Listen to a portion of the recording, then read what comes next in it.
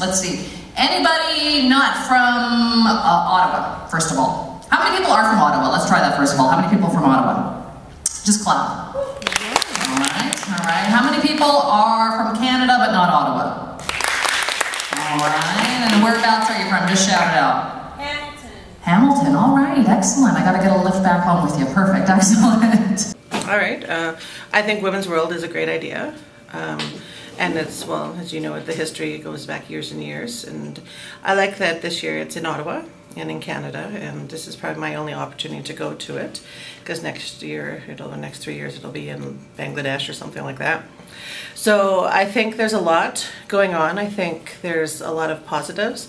Um, I think, though, honestly, what we're doing with the uh, with this night and with um, the laughing workshop, um, we should have more of those in future events um, because everything is so serious and it kind of perpetuates the stereotypes that feminists don't have a sense of humor and that we don't have fun because everything, even the art stuff, is all very serious. That'd be my opinion, but otherwise, I think it's all great. I just think it's going to be quite depressing at the end of it.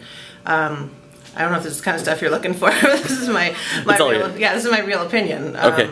Yeah, and that at the end of the uh, the conference, like I think we're all going to come out better educated, and hopefully, um, women are going to meet each other from lots of different countries, and we're going to grow and sort of in that globalization. But I think we need to lighten up a little bit sometimes too.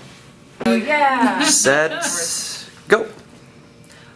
The evening was great. It was a fabulous audience, and it's wonderful to be in Ottawa, and it's wonderful to be doing an event that's in Ottawa, that's international, and we just loved the the audience tonight. They were really, really fun, and there was a super great vibe, and I'm glad that we could bring that fun element to the uh, to the conference this weekend, and you know that was a big that was a big responsibility, and I think girls we did a pretty good job.